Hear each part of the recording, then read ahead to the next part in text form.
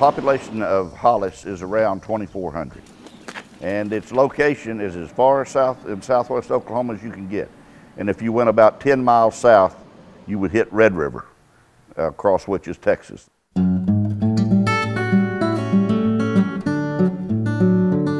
Darrell was born here in Hollis in uh, 1924.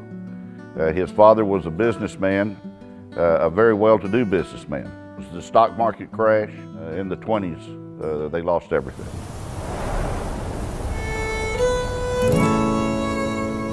The Dust Bowl hit it pretty hard. Grew up, you know, dirt poor uh, during the Depression days, sleeping with a, a, wet dust rag, you know, over his mouth to keep from breathing all, all that dust in. In the Depression, took the uh, took the Okie migration. His dad took him out to uh, California. He gets out there, he doesn't like it.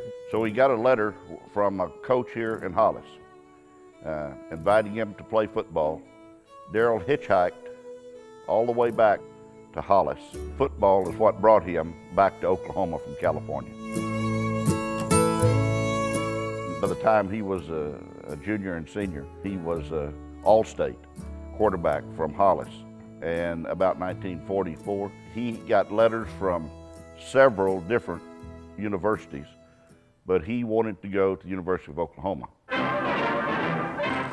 Unbeaten Oklahoma in the running for national football honors. This fall is showing the power of its devastating new formation, the split T. And he gets to OU just at the perfect time at uh, the arrival of Bud Wilkinson and Jim Tatum. A tremendous all-around player, no doubt about it, and, and just completely beloved by, by Bud Wilkinson. Anybody really associated with OU football from that era. I've seen some of the highlights and, and, clips that, you know, that are shown now and, and make it a point to try and watch them. An exceptional athlete, could do so many things, um, could do everything. Wilkinson was constantly trying to figure out a way to make Royal the quarterback and Jack Mitchell moving to halfback. But then in 1949, you know, the program's been great, everything's going good. Darrell Royal takes over as the senior quarterback. Bud Wilkinson loved Darrell Royal as a ball player because he could run he could run that split T, but he could also throw. Royal, Royal throws a quick pass out. It's complete to go, and he's over. Touchdown, Royal. They go 11 and 0. If you made a list of the top three OU teams of, of all time, the 1949 team is one of them, and Darrell Royal quarterbacked it. He held punting records. Still holds the uh, OU record for interceptions. He was an All-American, uh, both as a quarterback and a punter. When it comes to college football playing, he was as good as it got. During the years that we played at Oklahoma from 46 through 48, uh, I think probably every boy on our squad gained more satisfaction out of beating Texas, I believe, for the first time in eight or ten years. Uh, there hadn't been any boys recently experienced that, and I think that that was probably the game we liked most. Well, that's gotten to be a very familiar story up at Oklahoma since, hasn't it? What's interesting is Darrell Royal's career between Oklahoma and Texas. Been three stops. You know, he's been at Washington, Mississippi State, uh, in the CFL in Edmonton. Yeah, I wouldn't think Texas would be real high on his list when he was an Okie. We still make fun of Coach Coach Wright, who coached at Texas and now coaches with us. It's one of those things where like, dude, what's wrong with you? Like, how'd you do that? Texas was a job you have to take. Mack Brown always says, you want that kind of job where you're the university of.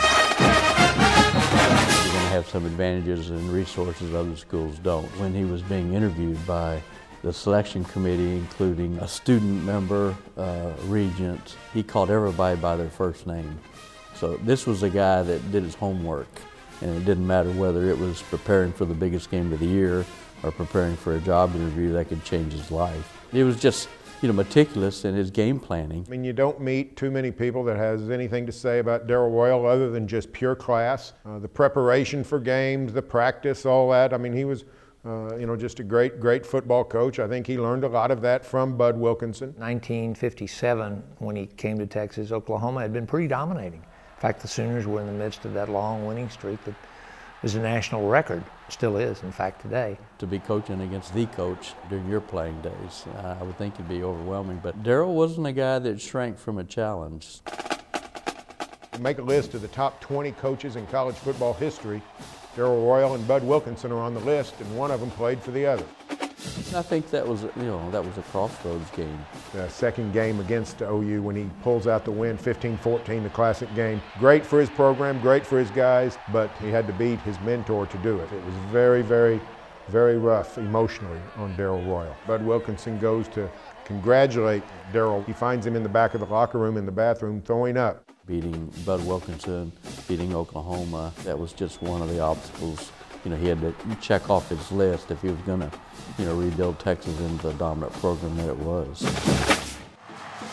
The number one program in America uh, in the 60s was Texas Longhorns. You know, once he got that thing turned around, he owned Oklahoma for the first half of his career. And in some ways, Darrell Royal's arrival in Austin put a dent in the rivalry because uh, while Bud and, and the Sooners had dominated for so long, when Royal won in 58, all of a sudden they started winning forever and they won uh, 12 out of 13 games against the Sooners.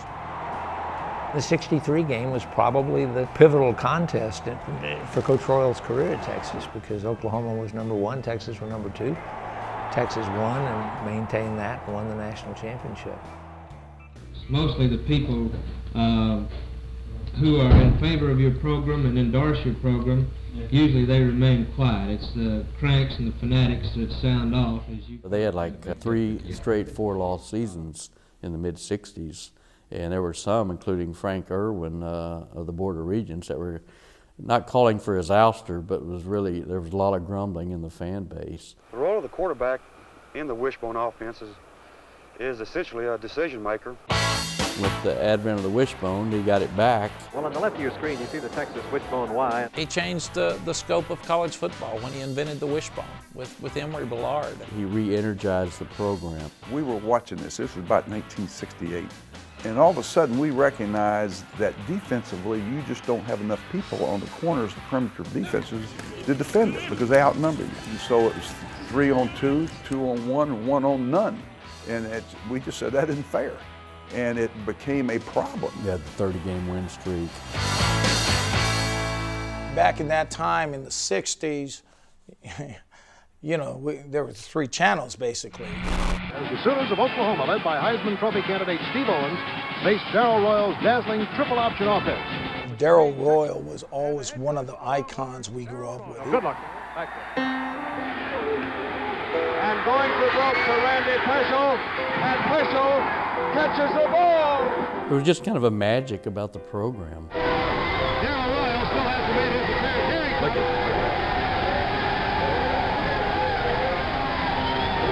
One of the greatest victories in Texas history. Darrell was kind of the toast of college football there in the late 60s. Won the 69 national title with the great unbeaten Wishbone team, won the UPI title in 70. He was at the very pinnacle of college football.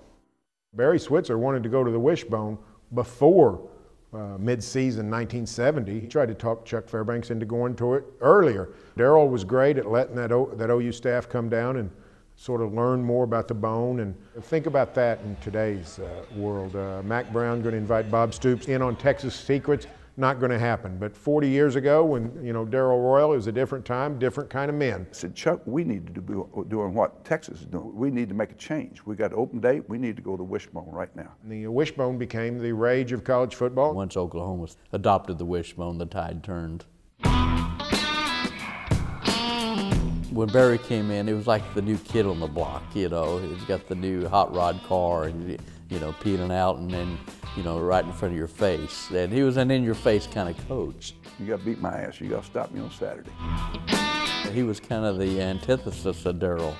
And I think Darrell resented that, not just because of who Barry was, but the fact that he was doing it as his arch rival. 1976 was my first year on the beat. On a Wednesday night, Darrell calls me up about uh, 6 o'clock after a practice, said, I got a good story for you. And it was kind of a story that kind of rocked the nation because uh, Darrell called Barry Switzer a liar, accused him of spying on his practices, stealing information. You know, those are the kind of tips you live for. We spied on 1972, but we're talking about semantics here. Chuck was the head coach in 1972. Darrell didn't find out about it until about 74, 5, or 6. And of course, I knew that they had. And the reason they had, we had a guy that coached for one of our assistant coaches that was in Austin says, hey, I've been out of practice last couple days. And, and we happened to be playing them that week. We beat them 27 nothing, by the way. And uh, they, the Alan Lowry was shifting to uh, uh, spread uh, quick kick, shifting to the quick kick from quarterback back to the quick kick. Texas all of a sudden came out close to the goal line down there, and they're going quick kick on third down. As soon as they came out and shifted to that, our defensive tackles now took an inside rush. They blocked the thing, knock it back in the end zone. Both the other tackle runs in the end zone, falls on it, and we got a touchdown out of the play. Well, that's of course, you know, that's information that paid off. The next day after our story broke, where Darrell accused OU of spying, uh, Robert Heard was Associated Press reporter, went and interviewed Darrell in his office the next day. And uh, that was the, the day where uh, Darrell called Oklahoma those uh, bastards. And Darrell thought the interview was over and it was off the record. And uh, the story uh, included that quote. And boy, did that stir everything up. And I'll never forget the day of the game, uh, 1976, that October, during the warm ups. Uh, Oklahoma players are openly taunting Darrell Royal on the field. And the uh, Oklahoma fans are, are jeering Darrell Royal at every step and taunting him with the, the dirty bastards quote. Part of his life had been Oklahoma, and he was proud of that. And for him to be um, shunned because he had stood up for what was right really bothered him. Gerald Ford, uh, the president, was there for the opening coin toss. Oh my God. I don't think Gerald Ford had any idea what he was getting into. On one side of him was Barry, on the other side was Darrell. They wouldn't even look at each other. And we got the bottom of the ramp, and some redneck from Oklahoma stands up in his red and polyester, and he yells out and screams, Who are those two so with Switzer. And uh, of course, I felt about like this, you know, it embarrassed the hell out of me. I well remember the, the long walk, and it seemed extra long. Those two guys weren't talking, and President Ford's in the middle, and he'd talk a little while over here and talk a little while over here. And they'd walk to the center of the field. We in the press were all allowed to go down there for the opening coin toss in midfield, if you can believe that now. So I thought, boy, this is going to be a, a game for the ages. It was a game that Texas dominated, defensive game, and it led 6-0.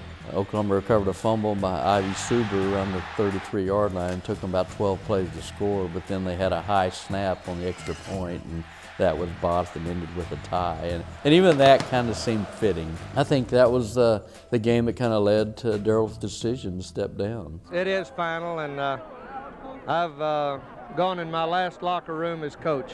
Coach. I think Darrell always regretted you know, leaving the game at age 52. He stayed on as AD for three years, but, you know, that was not Darrell, not sitting behind a desk. He needed to be out uh, with the, the golfers and the pickers.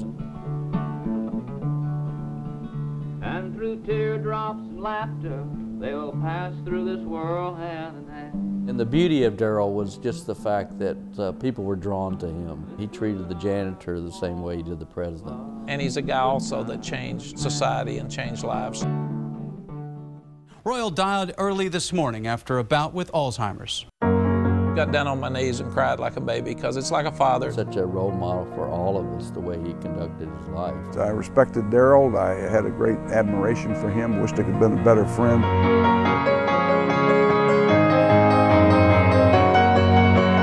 A lot of OU fans get a charge out of the fact that an Oklahoman's name is on the stadium at Texas. Coach Royal loved Oklahoma. He loved playing there, and at the same time, he said, I'm a Longhorn. I've been here 50 years. He's really not thought of as an Oklahoma hero just because of that rivalry. He definitely should be.